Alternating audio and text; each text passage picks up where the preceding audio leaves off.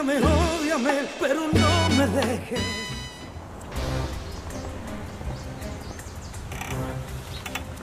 ¿Qué haces aquí, cabaretera? ¿Cómo entraste en mi casa? Eso no te importa. Te traigo un regalito para haberme hecho el favor de ilusionarme con Bruno antes de perderlo para siempre. Sí, ¿qué regalito es ese?